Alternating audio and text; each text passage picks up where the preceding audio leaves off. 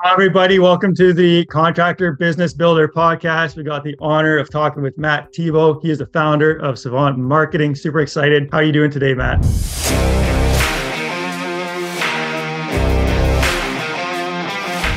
Doing awesome, Derek. Glad to be on the show again. Yes, definitely. Returning guest because, hey, you just got a ton of knowledge. And I know this is like so important for so many contractors in their growth curve is, you know, how do we utilize advertising so you don't have to be, you know, posting on social media or doing all that other, you know, marketing stuff and just be able to, I mean, hire someone like yourself or get ads up and running that can direct clients to, you know, our listeners here. So can you tell us like who you are and what you do uh, quickly? Yeah, absolutely, man. And, and thanks. I appreciate it. You know, I follow your stuff as well, and it's always really awesome. So super grateful to be here on the podcast today. So yeah, so a little bit about myself. Uh, my name is Matt Thibeau. We have a marketing company called Savant Marketing Agency where we work specifically with contractors. Um, these days, we're mostly focusing on helping painters, landscapers, and remodelers specifically get more leads into their business so that they can grow. So your question was like how I got into this. So, you know, I've always kind of been entrepreneurial. Like there were always the warning signs, so to speak, you know, growing up, but kind of like the pivotal moment moment, I guess, would be when I decided to go to university, not because I wanted to, but because my parents said, okay, you need to go do something. So I went to university, which for basically a marketing degree. And while I was in university, I was experimenting with like a couple different online businesses, just stuff little stuff here and there. But kind of my pivotal moment was I went on a mountain biking trip with my dad, and he introduced me to one of his best friends. And this specific friend was actually a marketing consultant. So I've never before seen someone who was like super successful, you know. So I met this guy and we, uh, you know, hit it off and we got along well. And I asked him just point blank, like, what is it that you do? And he told me, well, I work with companies and we help them with their marketing. And in that moment, I was like, okay, I know that I need to just get as close as possible to this guy. You know, I want to learn from him. So I just offered him, hey, I'll work for you for free just to be able to you know, figure out some of this stuff. And so worked with him for free for about a year, learned a lot, learned the, you know, advertising and copywriting and all this stuff that we're going to be talking about and then after that i decided to go off on my own. So that's kind of the uh, the story. Yeah the catalyst there that that's awesome. And so fitting as well of like getting around people that you know have been successful in something and you know learning from them. And just that in and of itself will help you on your career or life direction and just a huge guiding force of being around the right people for sure. So with advertising what would you say to a contractor who's afraid of losing money? I think that that's a big concern for a lot of people getting into online online advertising? Yeah, that's a really that's a really good question. Um, to that question, what I would say is like, you know, in business, we're always losing money. As, like that's you know, right? It's like in business, we're always losing money. Like whether you know you're hiring someone new, that's kind of a risk, right? You're going to be losing money there. Whether it's doing any kind of experiment, you're going to be losing money, right? So I just want to preface that, like, you know, if a contractor is coming into advertising, being like, I can't lose any money, or like I'm not willing to to, to experiment here or there, then it's like, don't advertise man, because you know it's just it's not the right mindset that you should have. But with that being said, obviously with advertising, what our goal is is to mitigate risk and to mitigate loss, right? So with advertising, you know, if someone comes in and they're a little bit nervous about like losing money, you know, the good news is that if you work with a professional like us, we've made all the mistakes in the past, right? I've been doing this for about 8 years now. So we know what works really really well, we know what doesn't work. So what we can do is really shortcut the losses, especially in the beginning mostly what the losses will be in the beginning are putting out a bunch of different ads, seeing which ones don't work as well. And then we cut those and we really focus on the ones that do work well. If on the flip side, you're like, okay, I don't have the money to hire an agency to be able to really cut that learning curve and you're doing it yourself, then there's mm-hmm. definitely going to be a lot more of a learning curve and you're going to be spending a lot more money on, on experimenting and losing money, right? But I think it was like Thomas Edison or something like that. He said like, oh, you know, I, I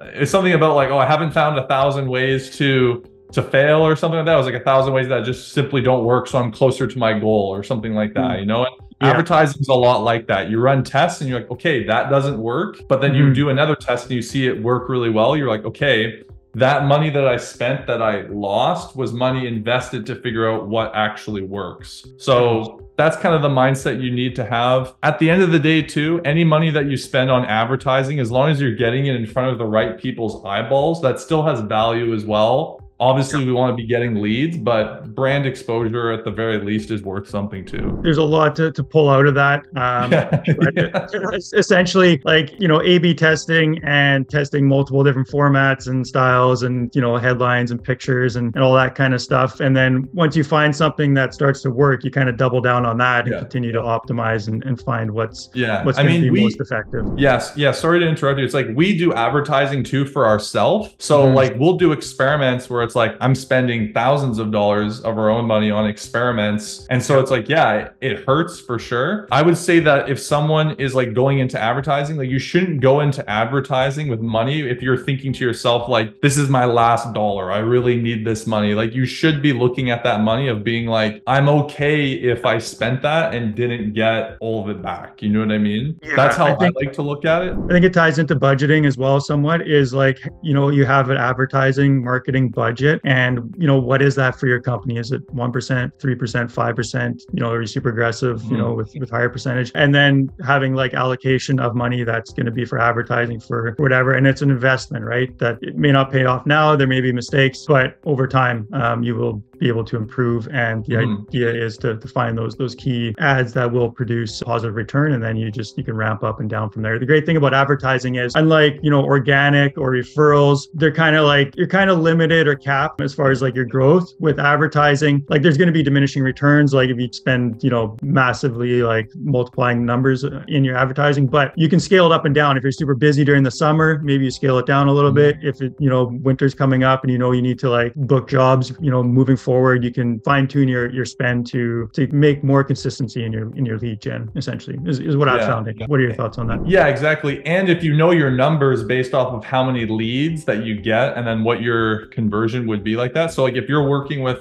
shameless plug here. If you're working with a good company like ourselves, we mm-hmm. guarantee results. So it's like if you know that you're going to be getting the leads coming in, then you can just be like, okay, out of this many leads, we book this many appointments and land this many jobs. So that's kind of what we we like to get to with our clients is every month we say, cool, you got this many leads this month, then you book this many estimates, you landed this many jobs. Now we know what your conversion is at each level in the sales funnel. So then mm-hmm. that's how we can like really start to scale it, right? It's like, okay, now it's just like that's the ultimate power game of what you were talking mm-hmm. about with advertising. Once you know how many leads you need to land a job, then you can just scale the leads, right? Yeah, it's a beautiful place to be in. And it's like, as a business owner, you're just like so much more in control when you have those numbers in front of you. And it's like, okay, if I want to double my business, I just like, this is the spend or this is what I need to mm-hmm. bring in this many leads. And, you know, it's just like more or less like clockwork. Obviously, it's not 100%, but you can see the relation and and know what it takes to, to get to your kind of your next levels of, of business. So, what are some common mistakes you see contractors making when they when they get started with with um, you know online advertising? Yeah, I would say like number one mistake is like you know, plopping into chat GPT, just something like, oh, like write me an ad. And then they'll take that, put that on like Facebook and just like boost it. I mean, mm-hmm. it'll get you leads for sure. It, it, it, would work. I would say like that kind of approach though is kind of how you end up falling into just basically, you know, a sea of different contractors who are all kind of saying the same thing, right? Yeah. So like our biggest challenge when we're working with the client is how do we actually help this client stand out from the crowd? Because really what it comes down to is how do we get the cheapest possible leads? So the number that we're always looking at is cost per lead. How do we get the cost per lead down, right? Because we know if we get that down, then we're able to scale, right? We're able to make it make sense. So the biggest mistake that I would say contractors make when it comes to advertising, I'm assuming they're doing it themselves with this question, would be mm-hmm. like just putting out an ad and seeing all ads as like the same because that's not true, right? If we're able to have a different angle where it stands out, it gets someone's attention. Like every single contractor is doing like 10% off or 15% off and they all have the same kind of image and I mean it's going to get you leads like I said, but it's not going to get you the cheap leads enough where it can be profitable long term, right? And so this is why you get contractors like, you know, they'll boost it for a couple weeks, kind of works, maybe not, and then like they're not consistent with it, right? And so I would say that's the second mistake is like getting to the point where you can be consistent with advertising because it's like you can't be the type of guy where you turn it on for like 30 days and turn it off and then you turn it back on and you turn it off. It needs to be something that's consistently there. And I know this from doing advertising for ourselves. Sometimes it's like people will come in through our funnel and I'll talk to them and they'll be like, "Yeah, I saw an ad uh, from you like online a couple months ago. Went to your website, then I clicked your podcast and I listened to the podcast and I downloaded your case study and that was in your email list and then I saw an email and I booked a call." It's like that's how yep. it kind of works, right? Mm-hmm. So anyway, I would just say like biggest mistake that a lot of contractors make is just thinking that all this stuff is very linear and that it's kind of just like, oh, I put this in, I pay for this money and I get leads back. There's a lot that's going on. It doesn't exist in a vacuum, you know? Yeah. And I think that kind of leads into like leading indicators of like you're putting out ads, content, you know, like that's the stuff to kind of be watching because it can take months, even years for some of those people to convert and you need a lot of different touch points. You know, the, the payoff from it is going to be into the future over time. It's not I mean, hopefully you get some quick success and, and those do come in, but uh, yeah, but the the investment does pay off over time. What do you say to like like for myself or some of my clients? I know like lead quality is a big mm-hmm. thing, mm-hmm. and yeah. obviously the lead quality is going to be different if you're used to getting like referrals yeah. or you know straight from organic. So, what are your thoughts on like lead quality really and, and, adjusting yeah. for that? That's a really really good question. Yeah, so this term from contractors gets thrown around a lot. Price shoppers, right? Be like, yeah. oh, like I don't want any price shoppers. Usually, like the people that are coming in through that a contractor will call a price shopper is typically someone who's just not ready to buy right now. They're higher up in the sales cycle, right? If we picture it as like a funnel, they're at the very top of the funnel and they're kind of just poking around just to figure out like what is actually going on here. They're doing their homework, right? They might not be ready to pull the trigger yet right now, but they're thinking about getting it done in the next two months or so, right? So it depends on the platform that you're using, right? We'll talk a little bit, I'm sure, about like stuff like Google compared to Facebook because Facebook, it's like you're talking to people who are a little bit more just kind of window shopping a little bit, right? Whereas on Google, those people are actively searching for, I want to get this done fairly quickly. Now, that's not a hard and fast rule. Like we have some clients where a Facebook lead will come through and they'll close it like within the day and it's like a $70,000 bathroom or whatever, you mm-hmm. know? It happens, but you know, for the most part, that's kind of how it is. So back to your original question, a lot of contractors, you know, they'll talk about quality of leads, right? And so if you're expecting internet leads to be the same as a referral, like it's not happening, right? Yeah. Because a lot of contractors, when they're talking to referrals, you can make so many mistakes with the referral and still yeah. get the deal, right? Your appointment setting could be shit, your follow-up's terrible. You yeah. you could say like, "Oh, I'll send you the quote tomorrow and forget it and then send it back to them because they know mm-hmm. like and trust you and want to work with you, right? Yeah. Whereas with the online advertising, we actually train our clients quite a bit on appointment setting because they are talking to one or two other contractors, right? And so it's going to require a higher level of proficiency in the appointment setting process, right? Now there are things we can do, like a sign that the lead quality would actually be bad is like if you're getting leads coming in and they're not answering the phone at all and like you're calling like five, ten times, you're not getting an answer, like that's a bad sign. Or if you're picking up the phone and they're like, what quote? Like I don't even remember who you are. Like those are signs of bad quality leads, right? But if you're getting on the phone with someone and they're like, yeah, I want a bathroom done, mm-hmm. like that's a good quality lead, right? Mm-hmm. So anyway, those are my thoughts. Definitely. So yeah, not going to be as strong, obviously, as a direct referral. But the important thing is that you know you're paying for these leads. There's going to be a bunch coming through, some qualifying, and you know figuring out you know which ones are going to be you know good, suit, well suited for for you at, at this time. Yeah. Uh, and then having the proper process, like you know we may get into it later, but there's a whole process. You know, obviously, like the advertising is getting you the lead, getting you that that warm contact, but the effectiveness of you know your follow up, your appointment setting, your sales process, even your your estimating you know process all that stuff is going to tie into you know how effective and valuable these leads are going to be mm. for you. So yeah. Um, but you touched on like google and facebook ads. Obviously those are kind of the two big ones in the space that i would say pretty much all contractors would be using. Can you give us like a breakdown of you know which one to use or how to use both pros and cons? How do you differentiate those? Yeah so i would definitely say like facebook and google are the two media sources that like contractors should be using. That's what we use as well. So basically basically the way I break it down is Facebook, think of it as what I call push marketing. So we're taking an ad and we're like, okay, these are the people we want to reach. Let's push this message or this ad in front of them. They haven't necessarily asked to see it, but we're showing it in front of them and being like, we think that you're going to like this, right? Whereas Google is what I call pull marketing. So people are actually searching for what it is that you offer and we're just pulling them into our funnel. So we're essentially just like, hey, what you're searching for, pick us, right? So very different, right? So the person on Google knows what they want, they're looking for it, and now it's just a question of who am I going to buy from, right? So that's a completely different environment to market in than someone who has no awareness or anything and they're just like oh there's an ad there. I'm kind of curious right? So facebook inherently because of that is going to get a lot more leads coming in through but they're going to be slightly less qualified than google simply because like of what i said they just kind of stumbled upon this ad right? Now there are things that we can do in facebook ads to increase the lead quality. Something that i personally like to do that i recommend for a lot of our clients are doing a series of different selfie type videos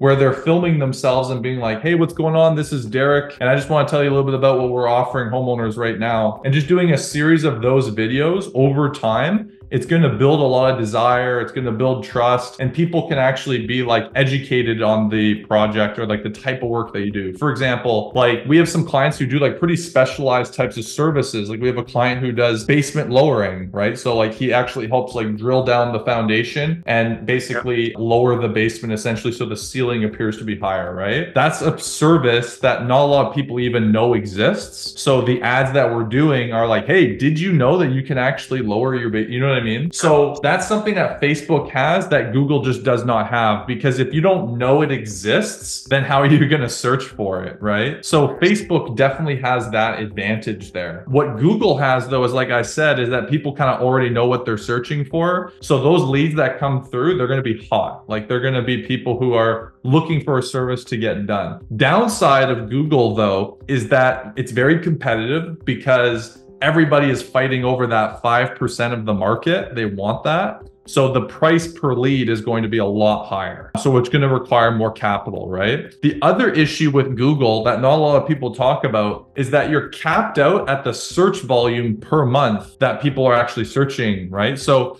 if there's only a hundred people per month who are searching for, you know, painting services, then no amount of increasing the budget or no amount of tweaking the ad or anything can go above that, right? So oftentimes contracting businesses that are very reliant on Google ads, when they go into their slow season, they struggle quite a bit because no amount of tweaking that ad is going to give you the lead flow that you want. Where, whereas if you're running through on that issue on Google, then you can crank Facebook ads and start getting leads coming through. Yeah, maybe they don't want the work to be done right now, but you can at least have some deals to work while Google is getting like the low hanging fruit, you know? Yeah. Definitely. So uh, a strategy that combines both and, and utilizing yeah. both for what they're well suited for sounds like. Yeah, I'm a little bit hesitant when a contractor is like, I just want to run Google ads because yeah. it's going to take quite a bit of money to be able to get them to the point where they have like enough leads for it to make sense. And then if we do have a slowdown, it's like we don't have a lot of control to be like, okay, I'll pull this lever and give you more leads from here, you know? Yeah, for sure. No, it makes a lot of sense. Thanks for for like the you know the mind frame of like the person on these platforms platforms and and how to uh, yeah direct what you're doing towards them. So just another question about like a lead magnet. Have you ever used one on ads or in marketing in general? And what are your thoughts on those like like a home buyer's guide or a design guide or some sort of like kind of free, you know, download that someone could get? What are your thoughts on that? I think it depends on the type of niche that you work in. So let's say that you're a painter. I don't think that you should be doing stuff like lead magnets and that kind of stuff. I don't think it's necessary because you're going to get a lot more leads come through, but if you don't have the lead nurturing system on the back end, which most painters or contractors wouldn't have, then you're just going to be wasting a lot of leads. You're going to get on the phone with a lot of people who may have wanted a guide, but like don't actually want their house to be painted. Whereas like doing a lead magnet makes more sense for businesses that are selling something that's like really high ticket and the sales cycle takes longer. So for example, let's say that you're like a developer, right? Like you're a home builder or developer or something like that. That's where I think it makes sense to be giving out like these lead magnets and such. So then like you can call people up and be like, "Oh, like right because these are decisions that are going to take maybe 1 or 2 years or something like that." So then you can get that lead and and kind of walk them through that cycle. Whereas for like a five or seven thousand dollar painting job, exterior, whatever, it's like mm-hmm. just get the quote, you know. I'd like yeah. to just go straight for the jugular. Yeah, these the sales cycle is much shortened, and people are generally you know yeah. ready to to move forward with with whatever um, project they're yeah. looking for. Um, so, what are some simple things contractors you know can do themselves to to better improve their ads? I would say the number one thing is to start using and leveraging your personal brand a little bit more. That's something that not a lot of contractors are willing to do because it can be kind of like scary and everybody hates to see themselves on video. I'm sure I'm going to watch this later and cringe, right? but it's the type of thing where um, we give our clients scripts. So we have a number of different uh, scripts lined out and we say, hey, here are some scripts give these a shot and just filming yourself. And you know the first couple ones are, aren't so good but after about five of them you've got some pretty solid videos of like you filming yourself and showing off some of the work. And this is by far what we found one of the easiest hacks to be able to get leads cheaper and build trust because there's just a higher barrier to entry now right? It's like anybody can just grab a, a, a stock photo and then like throw up a facebook ad chat gpt whatever it's out there so what we want to start doing in our marketing is basically how can we, you know, how can we get a next level up? And the easiest way to do that is just using personal branding. So showing pictures of you, showing pictures of your team, videos of you talking, like leveraging the trust of that by far one of the easiest things that a contractor could do to just like change their marketing completely. Yeah, and I think like the warmth of a client when they get on the phone with you, if they've seen a few of your videos, they they know your voice, they know what you look like, they've probably seen maybe some of your projects or whatever you've been sharing about. So it's like you've already built up some rapport and trust and likability before they've gotten the call. So the sale is just quicker, it's easier. You've already, you know, put yourself above probably your competition. And getting on camera, yes, it's super awkward at first. And when I started like, you know, my career of like YouTube and, and everything like that that, it was like, yeah, I could barely, you know, get across a sentence without, mm, uh, you know, like, and after a while, you just get, you get used to it, you get much more comfortable and it just like rolls. So it's really, it's almost like a superpower, I would say, for contractors. If you can yeah. get past that, you know, uncomfortableness of being on camera and like listening to your own voice and seeing yourself and like, you know, all that kind of self consciousness of it, you'll be able to produce much better content and it'll, it'll improve your marketing and your sales so much. So I, I love that you, you pulled out that point and, you know, work with contractors to help them get some of those just preliminary videos. And they don't have to be long, right? Like 30 seconds, minute, maybe yeah. two minutes. And you, you build over time, right? So can you walk us through a success story of, of clients of yours, you know, kind of how they came to you, where they started and, and where they're at now? Yeah, for sure. We have a couple on our site. So like, for example, there's one on our site that's a painter and his name's Justin. And when he came to us, he was doing like some door knocking, um, but he didn't have really the online marketing aspect. So he had like his friend trying to do some Facebook ads and such like that, but nothing was really sticking. They were doing around 450,000 a year type thing. Young guy, like pretty motivated, successful. Anyway, so when he started with us, we implemented uh, Google ads and Facebook ads and implemented like a lot of the strategy that we're talking about here, right? So one of the big things for him was that we went really hard on content, right? So it's like what I find with Facebook, it's all about content. So before and after pictures, action shots, we got like pictures of him and his crew like doing exterior, you know, he had like the videos. So we went pretty hard on the content side of things. And then on Google, um, the area that he was in, we saw that like he had a couple big competitors, but there were certain keywords that none of them were really bidding on. So I won't get too techy, but like we bid on some of those keywords that were like like they basically like weren't bidding on. They're they're called long tail keywords, right? So instead of like house painter, like that's it, it would be like best painter in city. You know what I mean? Yeah. So we went mm-hmm. after some of those long tail keywords. So long story short, we worked with him for two years, and within that two year span, he went from 450 to 2 million. now, mm-hmm. obviously, not all of that was just from our Facebook ads. I mean, I would love uh, I would love to be able to see that, um, but you know, like that was like a pivotal part for his business, mm-hmm. right? Is getting the point where the lead gen is dialed into the point where then because it's basically it just comes down to getting enough work coming in and enough leads coming in that you can hire more people and then crank the ads more and then hire more people right mm-hmm. so it's kind of like that that uh, building block between. So that's a story um, that like you know was like a good success story. So that's like one where you know 450 to 2 million. But even sometimes you know it's like another story would be something like you know we had a contractor where he was doing like only a hundred grand you know a year doing bathtub reglazing. So it's kind of like more of a niche type thing. One man show was relying like on, you know, Thumbtack or like Homestars, like these kind of things, but not really building his own brand. And so mm-hmm. we came in and just did like a small Facebook ads campaign for him and just implementing something like that. Now he's doing about 200 grand. So it's like maybe that's not a huge difference, but for someone like him, it's like, wow, this is like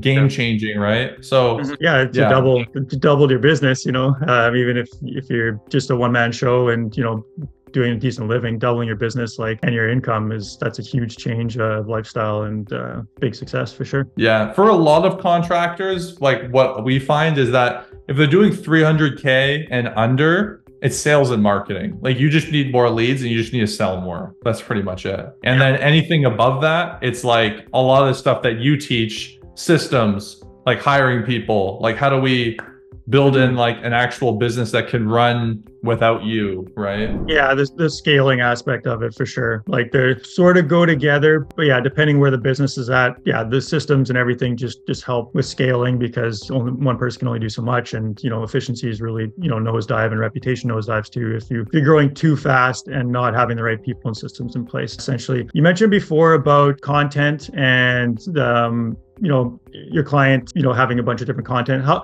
how important is like social media content or content on the website how does that tie in with the advertising and, and how do they work mm. together yeah so for facebook ads i would say that content has become like more important now than ever like what we notice now is that the algorithm and ai like all these buzzwords basically the better the content is facebook is like wow people are really liking this we're just going to show this more and more and more so what we find is uh, clients who send us like weekly content, you don't even have to overthink it, man. Just take like pictures on your cell phone, right? Clients who are sending us weekly content that then my team can go in and like test it. Every now and then we'll get one ad for whatever reason. Like people just find it really interesting. It pops off. And so we just put all of our resources into that one ad and just allocate the budget there and like basically milk yeah. it for as much as we can mm-hmm. and then like it'll it'll work it, it'll pull for maybe like three to four weeks and then it slowly just starts dying and then we have to implement like something new so that's like on the facebook side like facebook ad side in yep. terms of like the organic content like what you were saying like posts and stuff like that that is more of what i call trust signals so then like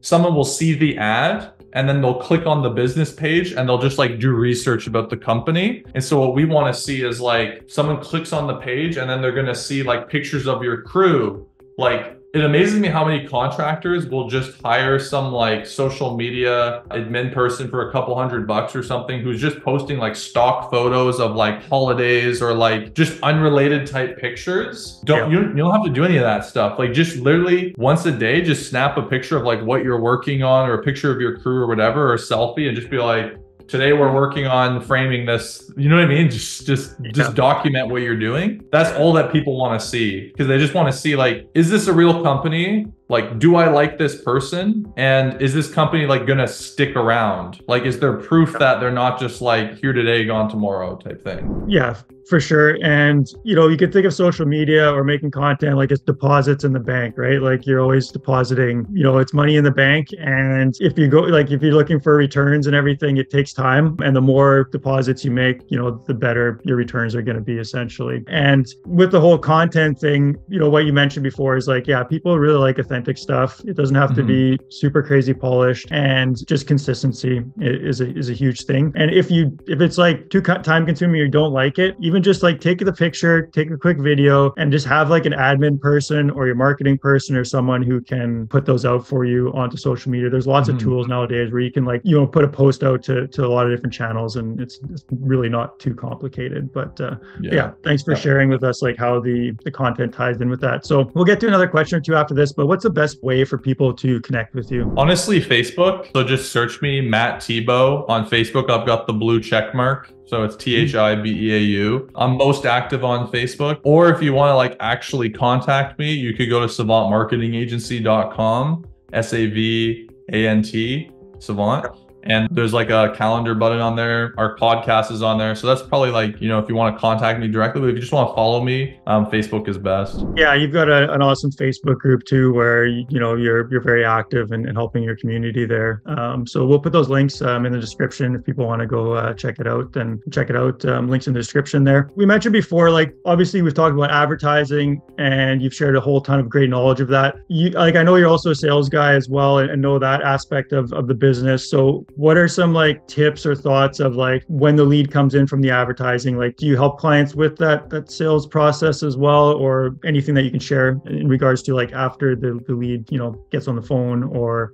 or hmm. contacts you know one of your clients? Yeah so we actually created a course that all of our clients get. It's called appointment setting mastery. So when they work with us we walk them through that course just to make sure that they're making the most roi from everything that we send them. We've got some stuff we're working on for like maybe a done for you solution down the line but we don't have it quite yet. But basically what i would recommend like just some real quick tips is like speed to lead. Like if a lead comes in, just call it as soon as possible. Like it's not weird. If a lead comes in and you call them like literally seconds later, they might be like, wow, that was fast, but yeah. you got them on the phone. So like mm-hmm. good job. yeah, if you let definitely. a lead sit for like days, like the weekend or something like that, and you call them, you can still get a hold of them, but like the odds of you actually booking that appointment have gone down significantly because we don't know what their situation is, right? Maybe they're talking to someone else, maybe before moving forward with someone, they thought maybe I'll get one more quote, you know, and then they waited too long. And then so speed is really important. Just some basic stuff like always booking a meeting from a meeting. So like don't ever say to someone on the phone like, oh yeah, call me back in an hour and like hang up on them or you know, or be yeah. like, oh like right now is not a good mm-hmm. time. Like okay, like never leave anything open ended. You know, mm-hmm. always mm-hmm. be like, okay, can I call you back at like 2 p.m. or something like that? You know. Yeah, you never want to put like the the action or onus on the the client to contact you. Exactly. You should be proactive of like when's it should always be you. Exactly. When, when's a good time to follow up? Yeah, definitely. Make sure you like